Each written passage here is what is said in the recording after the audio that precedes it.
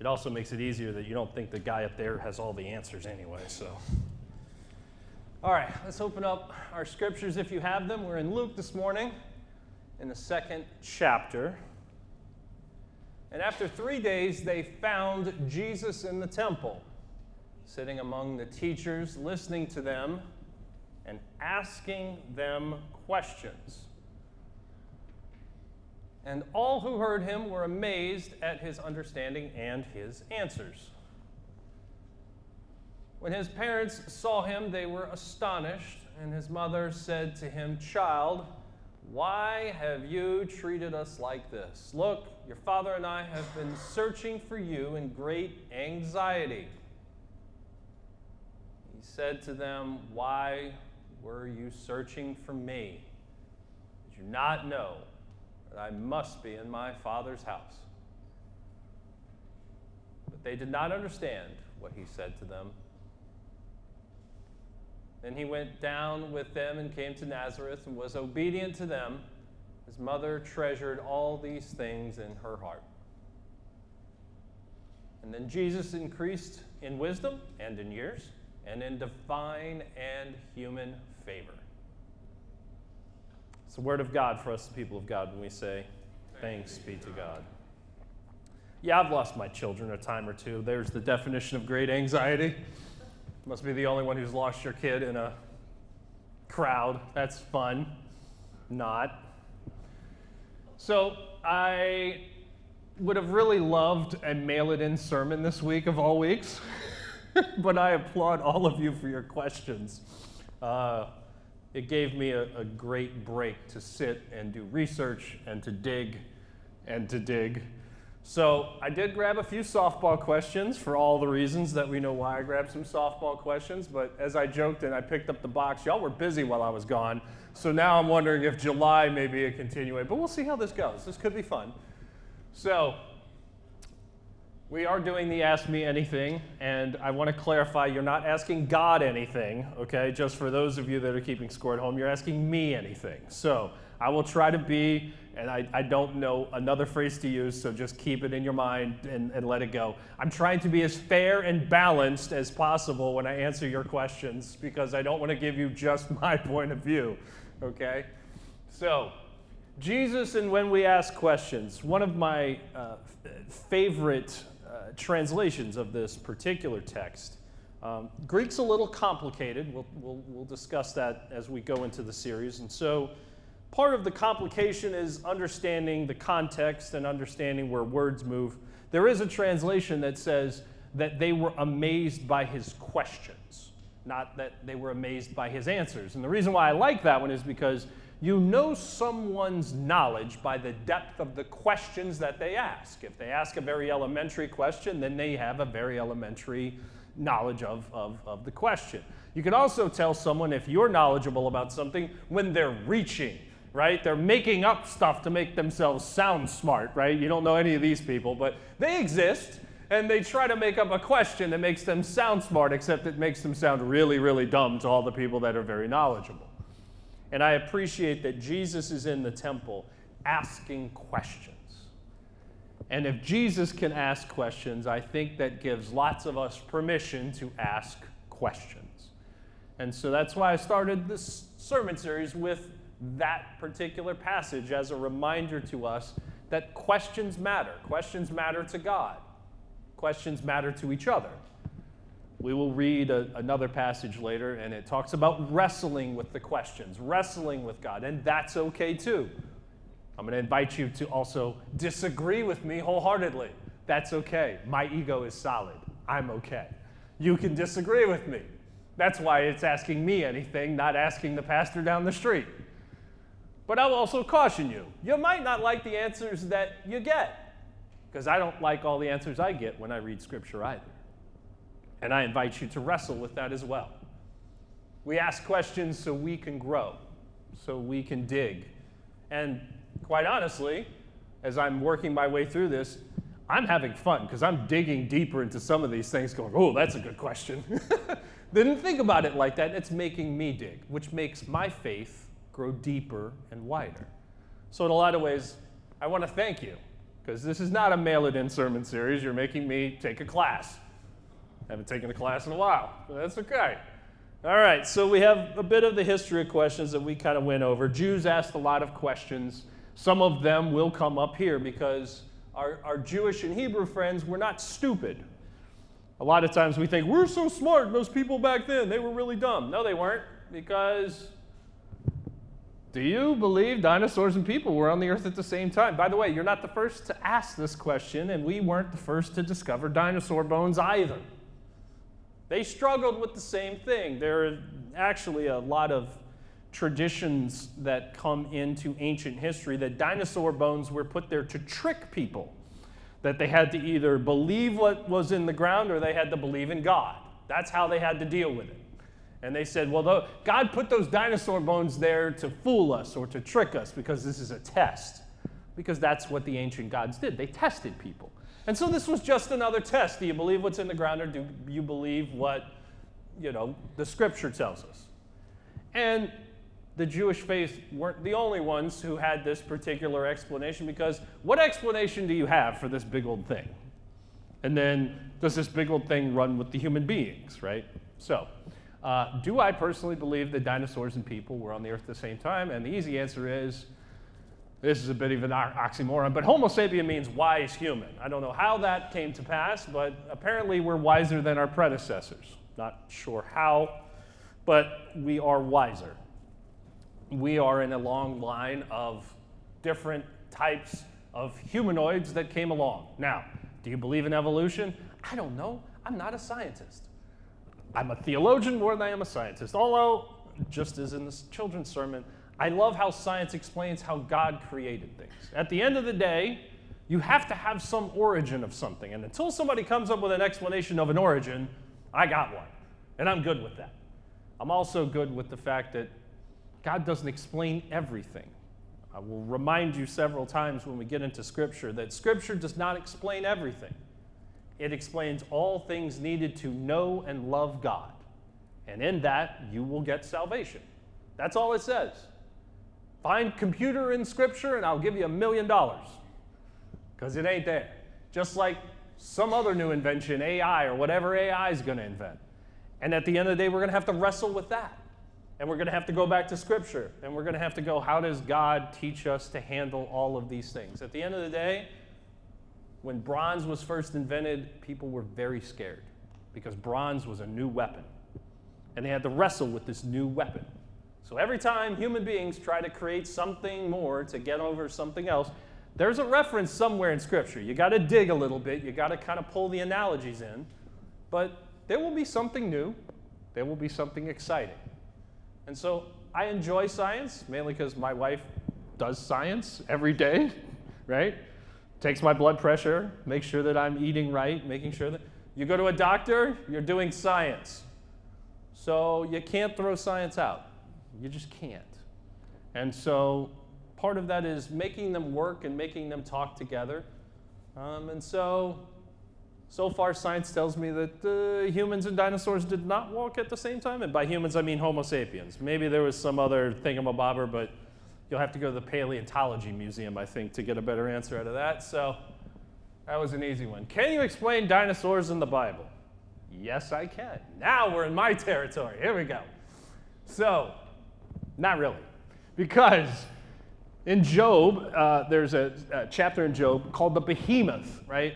and it talks about this behemoth of a creature that is bigger than anything else. They've tried to explain it away as a big elephant and it doesn't work. And part of that is when you start going through all of the Old Testament, you start pulling out all of these references to these large le- leviathans or the Tianian, a sea monster, a serpent, a dragon, and the size that they give doesn't make any sense. It's not an elephant that you can ride, it is something unfathomably big. A leviathan, nothing on earth is its equal.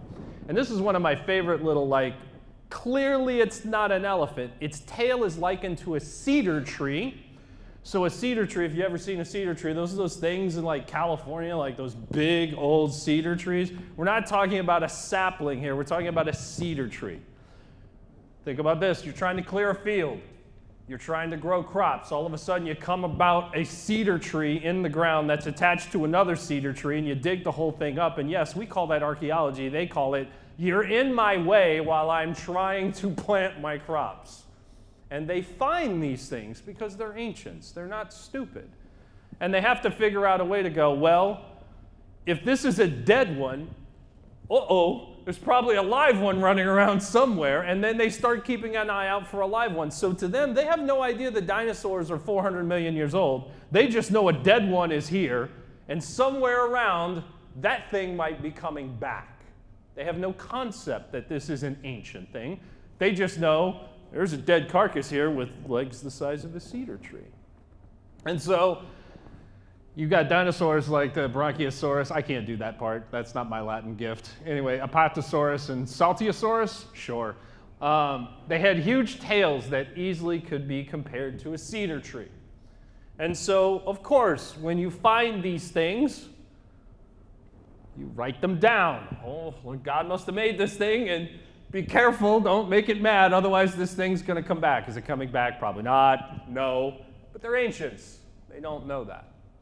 But there are all kinds of references to large animals, large types of things that are in the Old Testament, especially. Not too much in the New Testament, mainly because Jesus didn't hang out with the dinosaurs. I don't know. You'll have to ask God why that didn't happen, but that's fine.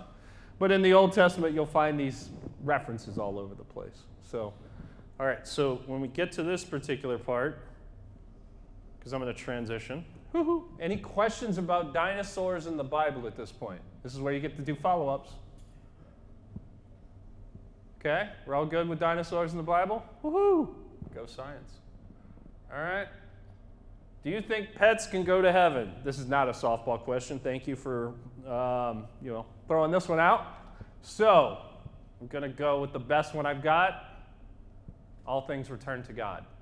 So it's a beautiful ancient um, idea before a long history of discussion and arguments.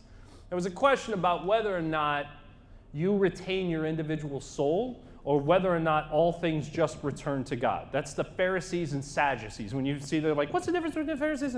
The simple, easiest explanation, besides the fact that both of them thought two mountains were significant, but they had a disagreement about whether or not your individual soul survived or whether or not you went back to the collective. No one knew. No one knew. And so we believe as Christians, and Jesus speaks about this, of, of our soul and our new bodies and all of that going back to God. At the end of the day, Revelation talks about it, the, the Hebrew scriptures talk about it, Jesus talks about it, that all things will cry out and return to God. Well, if you return to God, where is God? God is in heaven. If all things return back to God, I'm going to go with yes. Because where else is it going to go? So the answer is yes. Do I know what my new body is going to look like? No. Do I know what Stinky is going to look like? That was the name of my first dog. I was five when I named him. Not my fault. It's the name of my dog. Uh, I don't know what form Stinky's going to take when I get to heaven, but I know that all things return to God because God created all things and all things return back to God. Am I going to get into the long diatribe of making something up of like, yes, it's going to be like this? No, because no one knows. That's why I trust God. And so I trust that all things will return to God. And so that brings me comfort. I miss my Siberian Husky. Oh, I miss Sheba.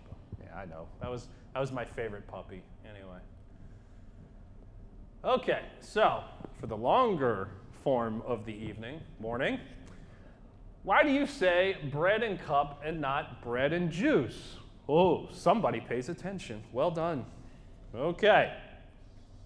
So, we're going to start with a little theological background. Click. Maybe. Oh, there we go. Okay. So, in order for communion to work, I don't own communion. Communion's been around a lot longer than me. And so we have to understand that communion is an ancient practice that actually predates Jesus. It goes all the way back to the Passover, and Passover adopted it from something else. So this is not anything new.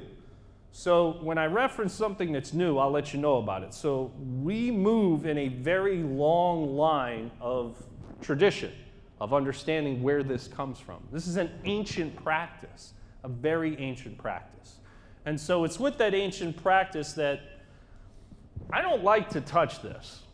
By touching this, I mean, you notice I pull the book out every single month. And I try not to deviate from that book very, very much because I've read from Justin Martyr all the way back. Justin Martyr wrote down back to the emperor, this is what they say when they're taking communion because the emperor was trying to kill Christians. And Justin Martyr went, look, they're not vampires and flesh eaters. They're taking the body of Christ, and this is what happens, and this is what they prayed. So Justin Martyr writes down the Mass, writes down the exact same words that we say. It gives me goosebumps because that's 2,000 years ago, and we're saying the exact same words. And so I try not to mess with that, mainly because I don't want to get struck by lightning. That's an Old Testament joke. But anyway, you don't want to do that. So, I have a lot of reverence for what happens at the communion table. So, we go from ancient times to Hebrew Jewish Passover, and I'm going to speed you up to Catholic and Orthodox theology. Why? because we're United Methodists, and United Methodists came from Methodists, and Methodists, we're working backwards, came from Anglicans, and Anglicans came from Catholics and Orthodox. We didn't make this up. This has been passed down from our Hebrew and Jewish friends into Roman Catholics and Orthodox, and I put them together because they don't like to mess with it either. So, there's two things there's form and matter. So, form is on page 12. That's the words that we say. And form matters because you cannot do things without a certain form. Good example we believe in how many baptisms for the forgiveness of sins? One. So, how many times can you get baptized? You can remember your baptism 700 times, doesn't matter. And the reason why we have one baptism, and it was kind of fun, because when the priest came in and we had this little like, hey, I'm Methodist clergy, you gonna let me take communion in the Catholic Church? And depending on who was there, he was very kind. But it was a concern because my brother's not a practicing Catholic, and clearly I'm somewhere else on Sunday. So we had this quick little like theological discussion, and he went very simply, Are you baptized? Yes, in the Trinitarian formula was my response, and he went, Then you can take communion because of that baptism, you have to be baptized in the name of the Father and of the Son and of the Holy Spirit. That's the form. In baptism, the matter, the physical element, is water. Okay?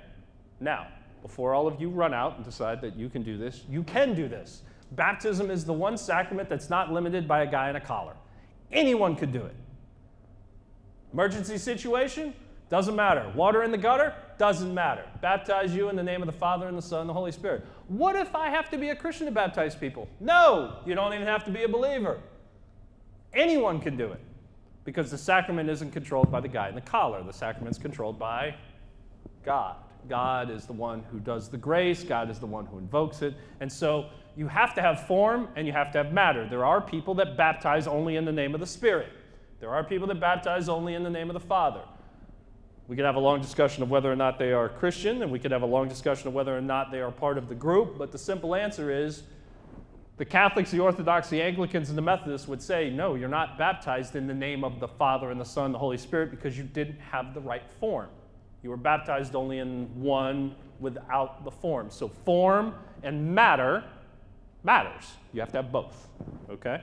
So, getting to our wonderful sacramental grace is given and grace is given to us to help make us holy. And so, in my world, that's not my baby. I get to do it and participate because the United Methodist Church said I had enough credits at my seminary and that I'm not a complete idiot. And they said, go and make communion. And I said, sure. And so there are churches that don't have a pastor that can make communion. We have to I really don't like doing it, but we can consecrate and then we can hand it off and then someone else can hand it out. That's you could call that a Eucharistic minister in the Catholic Church. It's someone who dispenses communion, okay? So that's really important to me. And I might mess with a few words that I know aren't ancient words. But when it comes to the ancient words, I will read them off that paper like my life depended on it because that's important to me. So, boom. So, why is this a thing now? Well, because, well, Methodists are Methodists. So, in the 1800s, there's an epidemic of alcoholism. Now, remember, this predates all kinds of things. So, we're like 2,000 years old. We have the formula, we have the form and the matter, and you don't touch it. In the 1800s, we had alcoholism all over the place. Like we don't have it now, but I guess they just thought it was a bigger deal. See, the United Methodist Church used wine. Now, juice is never juice before 1913. So what happens in 1913? Anybody? Pop quiz? Refrigeration. You cannot, even if you have pasteurization, you, you still got to have refrigeration. So before 1913, you have no refrigerator. So that means before 1913, there's no such thing as juice. Because the moment that you squeeze that puppy and put it into a jar, fermentation is already happening.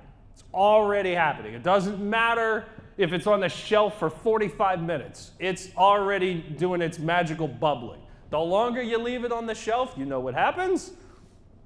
Yeah, okay, so understand that in the ancient texts, and we can get really dive into the deep part, they had different levels of alcohol, right? And for just very simple purposes, for the discussion point, uh, what Jesus had at the Last Supper and what Jews had used from the beginning of time is the water is not clean to drink. They don't turn on faucets. They bathe and drink and throw their garbage in the same stream. So, what is the cleanest thing?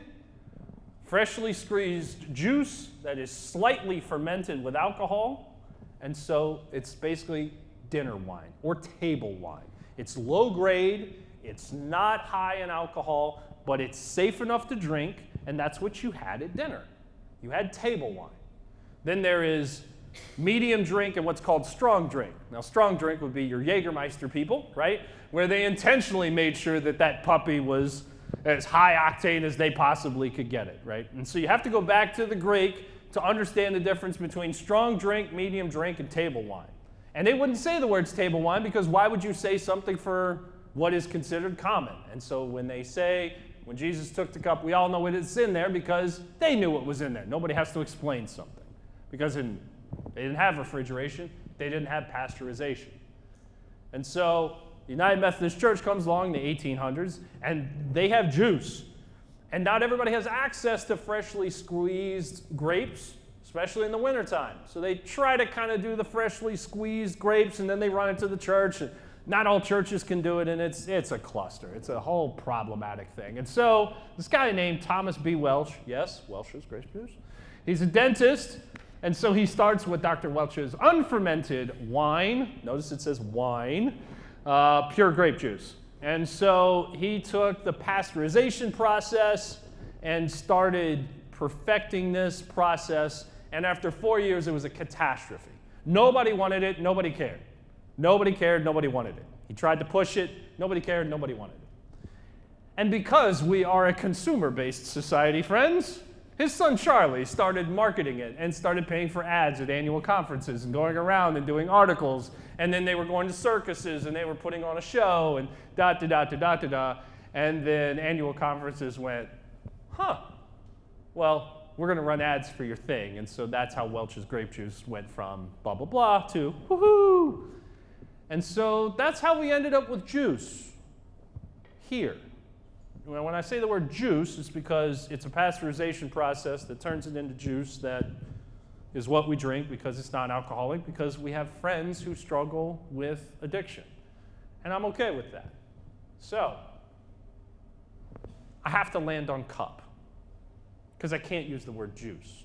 Because when Jesus took the cup, he didn't take juice. That's not what happened and I don't like substituting modern things into ancient things. Does God care? I don't think so. Does God honor what we're attempting to do to help people stay sober? I think so. I think so. But it's also important to acknowledge two things. I can't say the word juice because Justin Martyr didn't say the word juice, nor did anybody else say the word juice. But I know cup exists, and cup is translated several times when Jesus took the cup. Cup, cup, cup, cup, cup. I don't have to say wine because that's not wine, but it is a cup. And so it's a great question. So it's a nice little hold a fall down. But it's one of those things that it's a, it's a delicate balance as we continue to move into different phases of how we do things. Good, good example is we have gluten free now, right? Still bread. I think they still call it bread, isn't it? Yeah, still bread.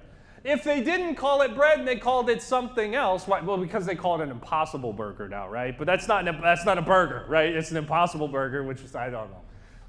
But we would still use, we would still use something correct me if I'm wrong because I didn't look up this part, but gluten free means there's no wheat in it. They make it out of rice. Okay? So, a traditional imagery of communion is what? The wheat, the barley, right? Which has gluten in it, right? So, I can, I, I'm safe with bread because it's still called bread, and we're fine. But we want people to participate. And as I've mentioned before, what if you're allergic to grapes? Well, guess what? You can still have the bread that counts. You don't have to have both. You don't, only, you don't get 50% Jesus. That's not how it works. You can only have one. Because the Catholic Church now, if you go to a Catholic church, when I was a kid, you, you went to one and you got the cup. You went one and the other. And they had to do this huge education after COVID like, look, you guys are not getting 50% Jesus. If you just get the bread, you're getting all of it and you are. You don't have to take the cup. We do it a little more, I don't know, sanitary, I guess is a good word, with the disposable cups and what have you. Um, and that drives people nuts, and that's a conversation for another day. So, any questions about communion? Because we're just going to segue right into it. So, any, any other questions? Follow up? Okay, then. I have no idea where we are in time, but we're just going to go straight to communion. Where we at? Over? I don't know. Five till. Not bad. I'm going to use my watch this morning. All right. Page 12, friends.